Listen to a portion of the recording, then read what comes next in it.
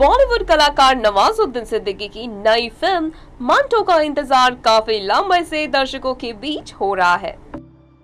इस फ़िल्म का एक वीडियो कुछ समय पहले सोशल मीडिया पर आया था जिसने लोगों के दिलों में तुरंत जगह बना ली थी। इसके बाद से दर्शकों में मंटो के ऑफिशियल ट्रेलर को देखने की बेचैनी साफ़ देखी जा सकती है।